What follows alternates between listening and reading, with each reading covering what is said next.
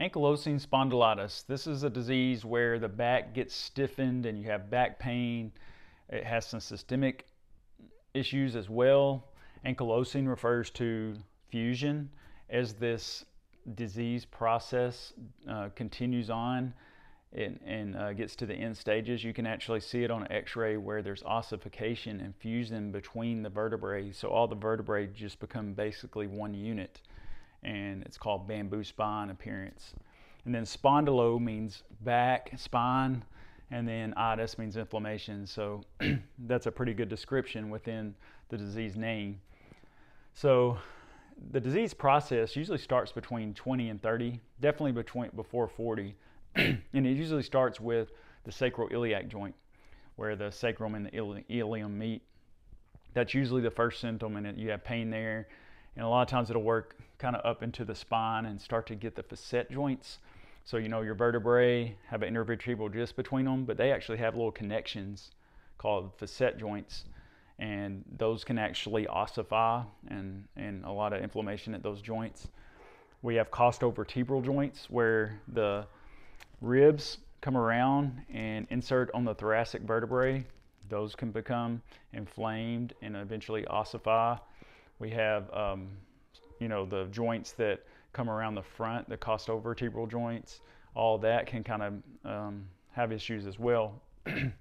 so there's a Calin's criteria um, because at first you don't see this on x-ray, you don't see it on a normal MRI.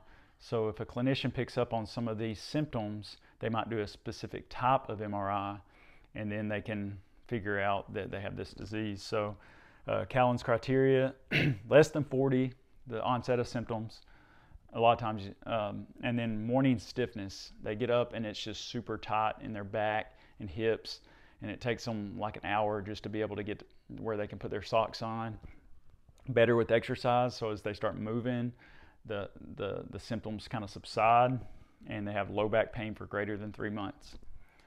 And a lot of times, not, you'll see this in white males, so that's the most common demographic. A third of the time, you'll see peripheral joint pain. A lot of times, it may be like a hip or something like that.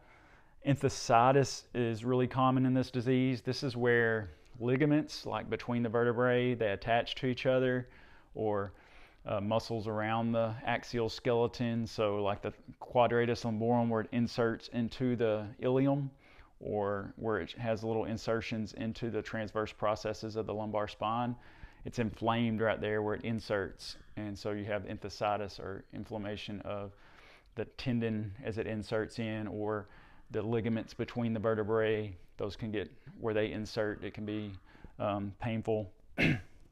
90% of people with ankylosing spondylitis have HLA-B27 in their blood. So um, kind of can making that connection to an autoimmune disease and there's a lot of inflammation in the body, so it shows up uh, on other blood factors. So you can see it as erythrocyte sedimentation rate, ESR, and uh, C-reactive protein. A lot of times you'll see these elevated.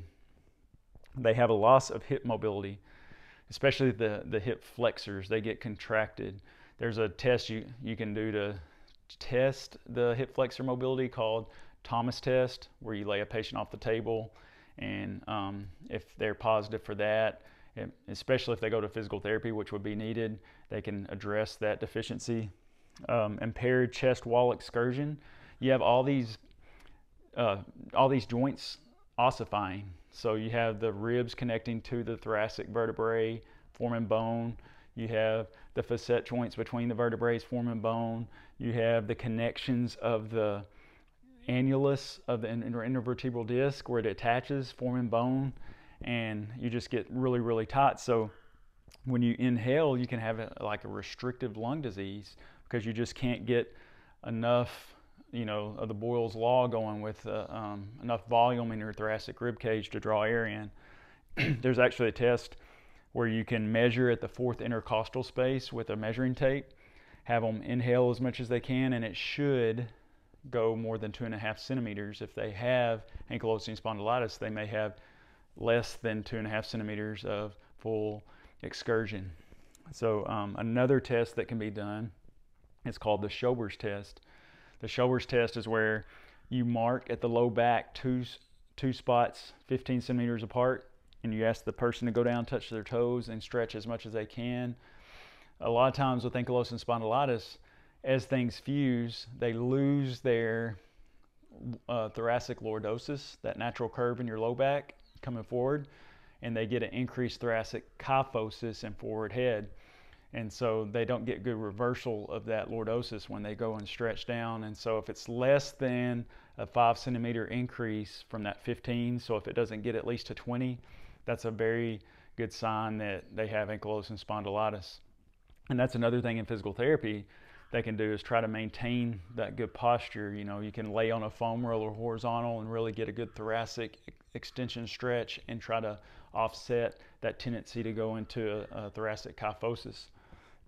so there's a, the specific MRI that you have to do early on to catch on to this is called a short tau inversion recovery sequences MRI. And you can actually see cartilage changes and bone marrow edema indicative of this particular disease. Um, a lot of times patients will have systemic disease as well, like about a quarter of the patients with ankylosing spondylitis have inflammation in their iris called uveitis, where it gets red and hurts and blurred vision and you know seeing um, things and everything. So, um, what can you do if you have this disease besides the physical therapy? You know, initially physical therapy with some NSAIDs, you know, non-steroidal anti-inflammatories are pretty good, like indomethacin. But there's actually some DMARDs, which are called disease-modifying anti-rheumatic drugs and um, the biologics are monoclonal antibodies, and these can actually help to decrease a cytokine called tumor necrosis factor alpha.